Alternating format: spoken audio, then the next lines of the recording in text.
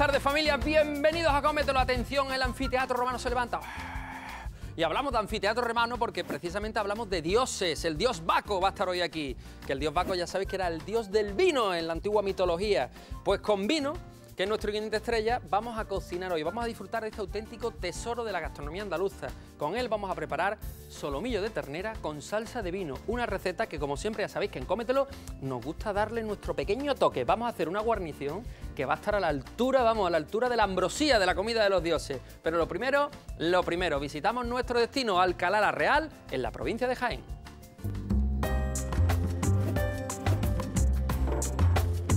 Alcalá la Real es una bella localidad de Jaén, perteneciente a la comarca de la Sierra Sur, situada entre las provincias de Granada y Córdoba. Alcalá la Real es un enclave de gran importancia estratégica en el sur de la península ibérica. Este hecho, y en especial el carácter de frontera que tuvo en el pasado, han determinado el devenir histórico de la ciudad. La situación privilegiada de Alcalá con el continuo discurrir de gentes de las más diversas culturas y condiciones, se ha traducido en un enriquecedor intercambio de ideas. Hemos venido hasta este destacado lugar para visitar una bodega familiar que desde hace más de 25 años pone todo su empeño en producir vino en un territorio en el que ya en época de denominación árabe se elaboraban caldos. La bodega y los viñedos están situados en una meseta a dos kilómetros de Alcalá la Real, paraje del Cascante, con vistas extraordinarias hacia la Sierra Sur de Jaén y al Valle de la Fuente del Rey. En sus viñedos brotan variedades de uva de gran calidad como Cabernet Sauvignon, Tempranillo, Graciano, Garnacha, Syrah, Pinot Noir, Merlot, Chardonnay, Garnacha Blanca y Moscatel. Todas son vinificadas por separado y mezcladas a conveniencia para producir unos vinos estructurados y muy afrutados que resisten una buena crianza, ideales para maridar con carnes, pescados, quesos y embutidos. ¡Guau! Si es que marida con todo, marida, que pega al fin y al cabo. Cuando decimos que un vino marida es que va bien su sabor, pues con otra comida. En este caso va a ir bien con una carne, no solo comer la carne con una copa de vino al lado, sino que vamos a integrarla y vamos a hacer con el mismo vino una salsa. Vino que familia, si os parece, ¡guau! ¡Qué buena pinta tiene esto! Vemos ingredientes y empezamos. Vino tinto, solomillo de ternera, patatas, queso rallado, un poco de nata, frutos rojos, setas de temporada, ajo y cebolla, huevo, tomillo, azúcar y bacon. Familia, y vamos a empezar. Hemos visto los ingredientes, lo acabamos de ver, pero curiosamente no os asustéis, porque es verdad que muchas veces dice uno, Enrique, tantos ingredientes para hacer un plato, no serán muchos, otro puede que piense que son pocos. Es que vamos a hacer, por un lado, una carne que vamos a darle una especie de relleno, vamos a hacer una especie de relleno, vamos a hacer una salsa y por otro lado vamos a hacer una guarnición que promete de verdad, una guarnición que ya de por sí sola puede ser casi un plato, casi un aperitivo. Por lo tanto tenemos prácticamente dos o tres recetas en una. Siempre quedaros con lo que más os guste. Pues a mí me gusta la salsa, me gusta el plato entero, voy a hacerlo así. O Enrique, yo me quedo con la guarnición porque a mí, mi madre hace un pollo al ajillo que quita el sentido yo voy a hacer esta guarnición con el pollo. Vea, pues bendito sea, lo importante es que disfrutéis en la cocina. Bueno, y ya que he dicho el pollo al ajillo de la madre, señores, señoras y caballeros, vámonos, capotazo, ¿eh? ¡Ya! Señoras y caballeros, cuando os pongan de comer, decir gracias. Qué rico estaba esto. Muchísimas gracias por, por el cariño que has puesto. No pedimos más los cocineros que el agradecimiento, esas muestras de cariño. Que qué qué triste es que una madre se lleve cocinando, vaya a hacer las compras, se lleve cocinando toda la mañana, y de repente llegamos, comemos, bueno, me voy, hasta luego, pum. Hombre, no. Vamos a mirarla y vamos a darle hasta un beso y le decimos que te quiero, por Dios, muchas gracias por haber hecho este pedazo de plato. Eso es lo importante, el cariño y gastronomía. Familia, una botella de vino. Esto lo que podéis hacer es vino que os vaya sobrando, pues lo vais guardando. Ahí está. Y esto lo dejamos ahí para que no moleste. Ponemos una botella de vino. Vamos a poner aproximadamente 3-4 cucharadas de azúcar. Mirad, una, dos, no muy colmadas, ¿eh? normales.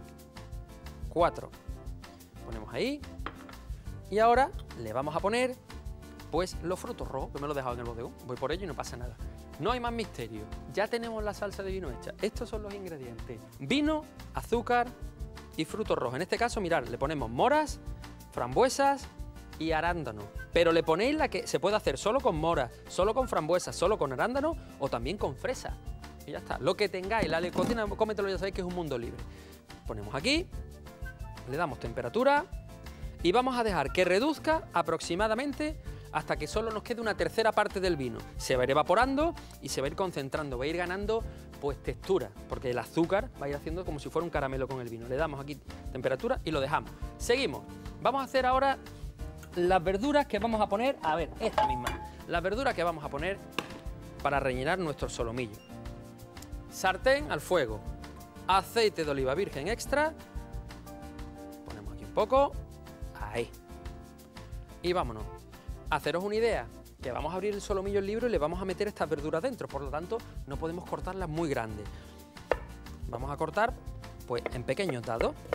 Cortamos aquí el vino que es un producto natural y no es más que pues, hacer una idea, la, digamos la composición del vino, estamos hablando de un 80, entre un 85 y un 90% de zumo de la uva y después entre un 10 y un 15% de alcohol. ¿Y cómo se produce el vino? Pues mirad, muy fácil, para que no haya duda, os lo voy a contar como si fuera un cuento.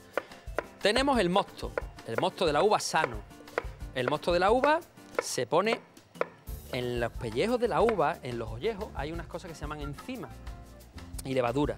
Pues esas levaduras empiezan a actuar y ¿sabéis qué hacen?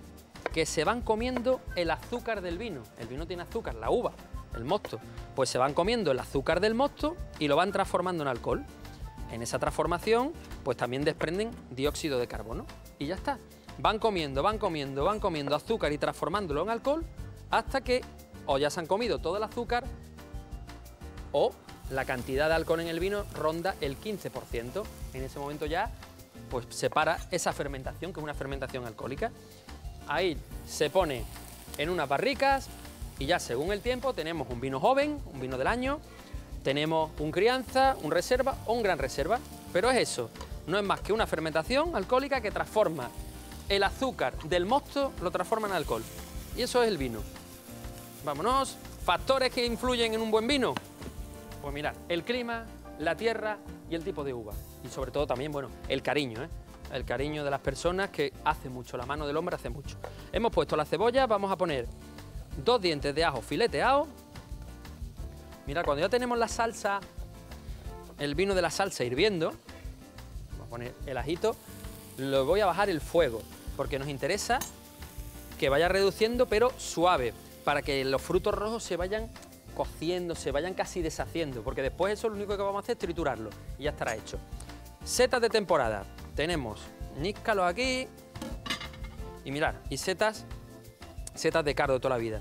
La que queráis, ¿eh? Cogemos, vamos a picar.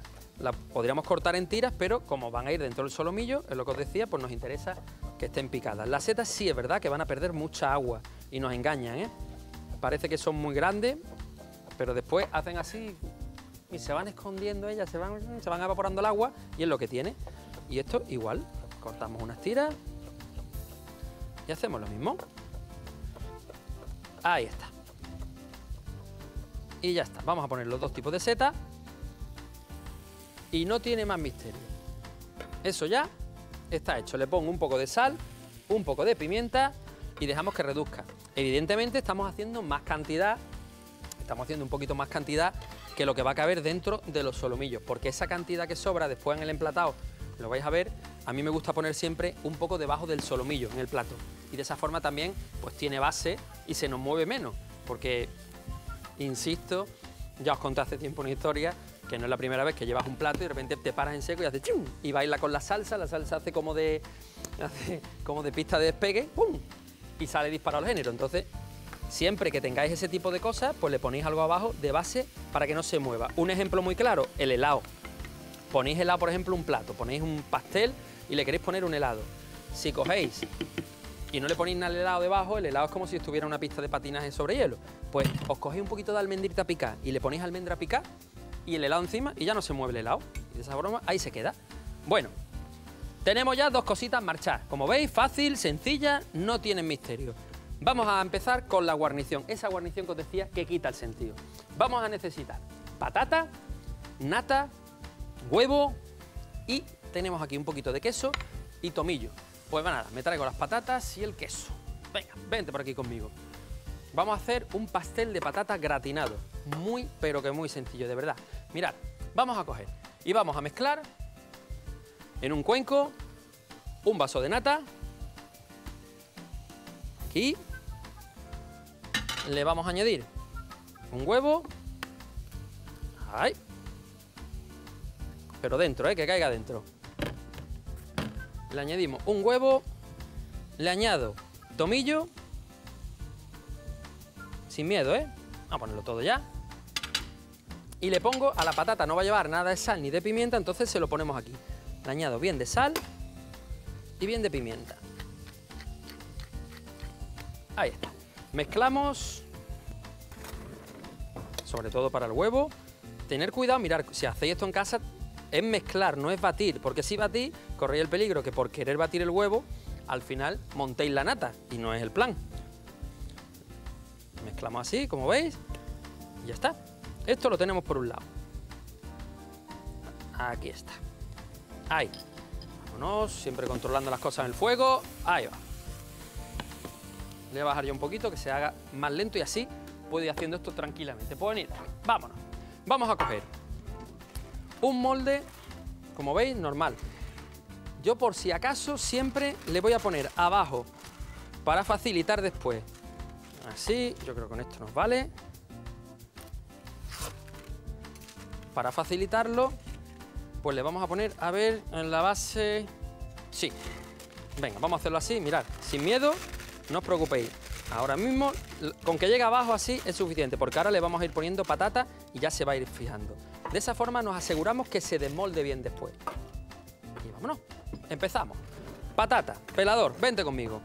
Mirad, la patata las hemos lavado, ¿eh? Lo importante es que estén bien lavadas, porque no las podemos lavar una vez que estén peladas, porque si no perdería el almidón. Y lo que queremos es que ese almidón haga un poco como de cemento y se mantenga después todo unido. Le vamos a ayudar de todas maneras por la presencia del huevo, que va a tener huevo dentro. Pero de todas maneras, cuanto menos huevo tenga, podríamos ponerle cuatro huevos y seguro que queda cuajado. Pero lo ideal es que cuanto menos huevo tenga, va a quedar mucho más suave. Y de hecho, si queréis, os animo a que un día lo hagáis sin nada de huevo, solo con la nata, ¿eh? Ponemos aquí y ponemos aquí. Y vámonos, mirad. Vamos a coger y le damos base aquí, un poquito solo, y cortamos para que no se mueva, ¿eh? Y ahora cortamos fino. Esto lo podéis hacer en casa con una mandolina, pero como nosotros siempre cocinamos pensando que no todo el mundo tiene de todo en casa, pues damos todas las posibilidades. Vamos cortando rodajas finas de patata. Más, menos, hombre, que os alguna más gruesa, no pasa nada, ¿eh? Pero lo más fina que podáis. Ahí está. Y ahora mirad lo que vamos a hacer. Nos ponemos aquí en medio para que se vea bien. Y empezamos. Ponemos patatas extendidas. Vamos montando patatas sobre patatas. Si veis, vamos poniendo, vamos poniendo, ponemos, ponemos. No pasa absolutamente nada si os queda una por encima, una por debajo. Lo importante es cubrir bien. Ahí está. Hemos cubierto de momento la base. Bueno, pues una vez que tenemos cubierta la base, cogemos y echamos pues la mezcla que tenemos de nata con huevo, un poco, ¿eh? Como veis, suficiente, porque después vamos echando por encima e irá cayendo para abajo. Ponemos un pelín de queso, aquí, un poco, y seguimos poniendo encima otra capa de patata. Ahí está. Como veis, lo vamos haciendo rápido para evitar que la patata se oxide. Pues familia, esto que estoy haciendo lo vamos a hacer hasta que ya hayamos empleado cuatro patatas. Prácticamente con una patata mediana por persona es suficiente. Ya sabéis, rodaja fina de patata, un poquito de la mezcla por encima de nata, huevo, tomillo, sal y pimienta y después queso rallado. Y volvemos a poner otra capa. Hacemos el primer repaso y seguimos cocinando. Para la salsa, disponer en una cacerola una botella de vino tinto, el azúcar y los frutos rojos. Dejamos reducir a fuego medio hasta que solo quede un tercio del vino inicial. Picar y rehogar la cebolla con el ajo y las setas. Salpimentar y cocinar hasta que quede bien pochada. Incorporar en un cuenco la nata con el huevo y un poco de tomillo. Salpimentar bien y mezclar. Pelar y cortar las patatas en rodajas lo más fina posibles. En un molde, cubierto con papel vegetal, colocar una capa de patatas, verter un poco de mezcla de nata y un poco de queso rallado. Repetir esta operación hasta llenar la terrina. De todos los vinos que tenemos en la comarca, el que más me gusta es el Martinino Serrano Etiqueta Negra, porque es un vino muy aromático y muy afrutado. Lo bueno que tiene la comarca de Alcalá es que tiene una gran variedad de uvas y por tanto también una gran variedad de vinos. Nosotros los amigos cuando salimos los fines de semana les gusta beber las cañitas, pero yo me bebo una copita de vino.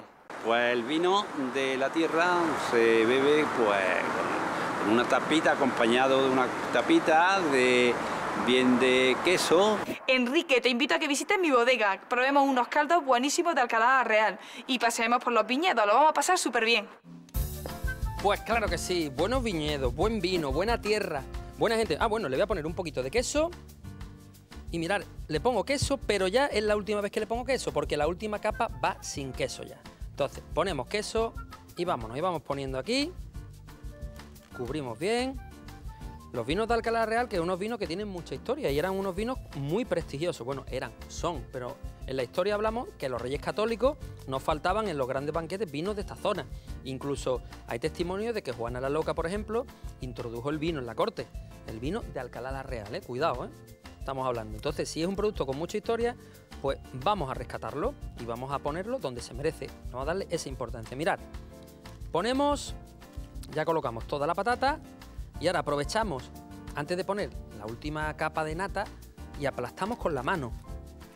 Aplastamos así para que se queden ahí bien compactas todas. Ay, mira, aquí queda una, bien compacta. Y ahora sí, en esta ya no le ponemos más queso, repartimos el resto de la mezcla. Por eso os decía, no os preocupéis porque después vamos a echar por encima. Ahí está. Fuera. Vamos a llevarlo al horno, pero, pero, antes de llevarlo al horno, si lo ponemos, va a estar una hora a 170 grados. Si lo ponemos una hora a 170 grados, ¿sabéis lo que pasa? Pues que al final se va dorando mucho por encima. Como tiene huevo la mezcla de nata, se va dorando. Entonces, para que no se dore, pues muy fácil. Cogemos y lo cubrimos con aluminio. De esa forma ya lo tenemos la hora y no se dora. Dora, dora la exploradora, ya lo dice. Pues vámonos. Familia, 170 grados, una horita, sin miedo. La patata fina, que en casa, Enrique, yo es que el cuchillo, la precisión la corta un poquito más gorda, pues lo dejáis una hora y cuarto o una hora y media y no pasa absolutamente nada. La salsa en su punto, la guarnición lista para rellenar. Si os parece, en un minuto estamos de regreso. ¡Ay, qué limpio está esto!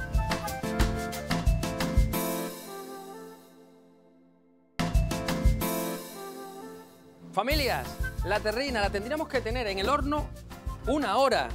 Pasada la hora, la sacamos. Pero aquí viene lo importante. Si la intentamos cortar ahora, como tiene queso, como la patata está muy suave, muy suave, muy tierna, lo que pasaría es que romperíamos. Por lo tanto, el consejo que os doy es que una vez que está así, dejéis que pierda la temperatura y la guardéis en la nevera aproximadamente pues unas 6 horas como mínimo. Una vez que han pasado esas 6 horas, mirad, tenéis esto que es ya fría y entonces es mucho más cómodo trabajarla y el corte pues va a quedar mucho más bonito. ¿Que os da igual la estética? Pues directamente cogéis y tal como sale del horno la podéis partir. Ponemos, recordáis papel que pusimos con cuidado, quitamos papel, con mucho cuidado, ahí está, que no quede papel, que no quede papel. Y ahora que está fría, pues os decía, es mucho más fácil partirla. Entonces, vamos a cortar por persona, por ejemplo, moviendo el cuchillo Ahí. Y cogemos y mirar, y la pongo en una placa de horno. Mirar que es mi loja. ¿Veis todas las capitas de patata ahí que bien se ven? Cogemos igual, movemos cuchillo. Aquí, mirar qué. ¡Ah! ¡Qué bueno! Ponemos ahí. Y entonces las ponemos, ahora que están frías, en una placa y le voy a dar en el horno para que gratinen un poquito. Y de esa forma se van a poner, no digo buenas, lo que sigue y además esto nos vale, pues imaginaros que además dentro le hubiéramos puesto unas setas, pues tendríamos un pastel de seta. Voy a hacer una más, ¿eh? Una más por si acaso. que os garantizo que muchas veces nos los preguntáis en las redes sociales, aquí no sobra nada. Nada. Una más por si acaso ponemos. Y ahora mirad, esto que nos sobra, pues cogemos con mucho cuidado. Y qué mejor forma, así con cuidado, de guardarlo que en su propia... A ver, que busque el hueco, ahí, que en su propia terrina. Lo guardamos, filmamos y reservamos en la nevera. Aquí, vente conmigo. Y de esa forma ya, pues tenemos, pues imaginaros, podemos hacer un huevo frito y ponerle esto al lado, podemos hacer un pescado. Es una guarnición muy versátil. Es como un poco comodín. Estamos hablando de patata, eso sí, lleva nata, lo digo por los que os estoy cuidando un poquito, pues de calorías, las cosas como son. Anda con arte, anda con arte. Vámonos. Amador, vámonos para el horno. Tal cual como está. Lo vamos a meter en el horno y lo único que le vamos a dar ese golpe pues de temperatura. Pode- podéis darle gratinado o sencillamente le subís la temperatura. Nosotros, por ejemplo, aquí, pues le damos el gratinado. Ahí está. Y a 190, pues va a ir bien. 190 y que vaya calentándose y gratinando. Y vámonos, familia. Que seguimos con nuestra receta. Muy fácil. Vamos a coger, vamos, la salsa. Como veis, ya está en su punto, solo hay que tranquilamente triturarla, que la vamos a triturar muy fácil y además es una salsa que yo trituro y no cuelo. No la colamos para nada, porque todo el sabor queremos que se quede ahí. Entonces, aquí, esto fuera. Vámonos. Trituramos salsa. Jarrita, guarnición que ya tenemos en su punto, en el horno, los cuchillos bien ordenados y las jarritas. Cuidado, eh, que esto tiene azúcar y cuidado con cuando tenemos azúcar en la cocina se alcanzan temperaturas muy altas, entonces tened cuidado porque esas gotitas que salpican son unas gotitas que entre nosotros no son nada bienvenidas en la piel, ¿eh? nada bienvenidas. Estamos aquí y trituramos, vámonos. Con cuidado, mínimo de potencia, que triture bien. Y ahí está, ya tenemos la salsa. Como veis, ha sido una salsa sencilla. Se hace una salsa muy típica con la ternera, que es la salsa Cumberland, que es una salsa de frutos rojos, pues nosotros hemos hecho nuestra salsa. Ya está, es que no tiene más misterio. Ya habéis visto azúcar, vino y frutos rojos, que el fruto rojo es el que queráis, el que tengáis, desde fresa, arándano, frambuesa. Esto lo vamos a tirar y lo único que voy a hacer, mirad, el cazo que está aquí, todavía está limpio, pues lo que voy a hacer, mirad, lo voy a devolver. Cuidado que está caliente. Ponemos aquí y lo dejo en el fuego. Dejamos el fuego, pero muy suave, lo voy a dejar al mínimo para que se mantenga caliente hasta el final. Y vámonos, ya lo queda lo más fácil. Guarnición en el horno, salsa preparada. Vamos con la carne, con nuestra querida carne. Tenemos el solomillo de ternera. Esta receta se puede hacer también con solomillo de cerdo, con lo que queráis, ¿eh? Mirad, solomillo de ternera. ¿Veis que tiene unas capas aquí de grasa? Esta grasa hay que quitarla. Con el cuchillo se le da pegado, pegado a la piel. Tiramos, ¿veis? Quitamos solo piel. Solo este como este nervio que tiene aquí. Vamos tirando. A ver, vente conmigo. Ahí. Vamos tirando con cuidado siempre. Esto fuera. Esto por aquí fuera. Y quitáis el exceso, ¿eh? A mí no me gusta quitar toda porque la grasa de verdad que después nos da cierto, cierto juego y cierto sabor a la hora de hacerlo en la sartén. Esto fuera, esta por ejemplo dejamos, esto dejamos y esta que hay aquí pues igual quitáis un poquito, lo que queráis. Hay personas por ejemplo que esto le encanta, bueno pues bendito sea, la cocina un mundo libre. Una vez que tenemos quitada un poco de grasa, que hemos limpiado un poco, aquí quitamos otro poquito, una vez que hemos quitado ese poco de grasa pues mirad lo que vamos a hacer. Vamos a cortar, por ejemplo... Ah, bueno, mirad, os voy a enseñar algo curioso. Esto es, esto es el cordón o rosario del solomillo. Esta parte que tiene aquí. Cordón rosario, esto se lo quitamos, pero esto se aprovecha, ¿eh? Esto se limpia y esta carne queda de escándalo, por ejemplo, para hacer la salteadita, para hacerla en una salsa de whisky. Esto queda riquísimo. Bueno, pues nosotros lo vamos a aprovechar. Lo dejamos aquí, bien diferenciado, para no tirarlo. Vámonos. Mirad, cortamos mitad y mitad, son cuatro por perso- una por persona, dividimos en cuatro, cortamos aquí. Cortamos, pero sin llegar a abrirlo entero, como si fuera un libro. ¿Veis? Aquí. Vamos a poner el relleno que teníamos de setas dentro. Sencillo. Cerramos. Y ahora protegemos, pues mirar, hacemos un envoltorio por un lado y otro envoltorio por el otro. Ahí está. ¿Y sabéis cómo lo cogemos? Pues solo hace falta coger el de fuera con un palillo por aquí y un palillo por acá. Y tenemos, si veis, aquí que quede bien puesto ahí, tenemos solomillo relleno y envuelto. Sartén muy caliente porque queremos sellar la carne y con la ternera ocurre siempre lo mismo. Siempre que hacemos una carne a la plancha, sobre todo si es ternera, un lomo o solomillo, os comento lo mismo. El punto, el que os guste. ¿Que os gusta muy hecha? Pues muy hecha. ¿Que os gusta menos? Menos hecha. No sé mejor cocinero o mejor comensal por comer la carne de una forma u otra. Simplemente es cuestión de gusto. Familia, último repaso. Hago tres solomillitos más, que esto es en un santiamén están hechos. Y emplatamos. Bueno, antes ya sabéis siempre escuchar a nuestros amigos de Alcalá la Real y el repaso. Dejar la última capa sin queso para que no se queme. Presionar con las manos para compactar el pastel. Cubrir con aluminio e introducir al horno una hora a 170 grados. Sacar la terrina del horno y dejarla reposar al frío. Desmoldar, cortar las porciones deseadas y calentar en una bandeja de horno con la gratinadora. Triturar la salsa y mantener al fuego. Cortar los solomillos, abriéndolos en forma de libro. Introducir un poco de relleno de setas, cerrar y envolver con tiras de bacon. Fijar con palillos de dientes y cocinar al punto deseado. Bueno, en Alcalá tenemos un plato muy típico que también es el arroz cardoso. El arroz cardoso, la verdad que hay que regarlo con un poquito de vino blanco, ¿no? Una copita de vino de terreno de Alcalá Real, para mediodía es estupendo y a nadie le hace daño. El plato típico de Alcalá es la secretaria y con un vino de Marcelino Serrano es extraordinario. Una de las variedades que tenemos en esta bodega es la torrontés que tenían nuestros antepasados en el siglo pasado. Es algún vino que posiblemente no se pueda beber en otro sitio nada más que en esta bodega.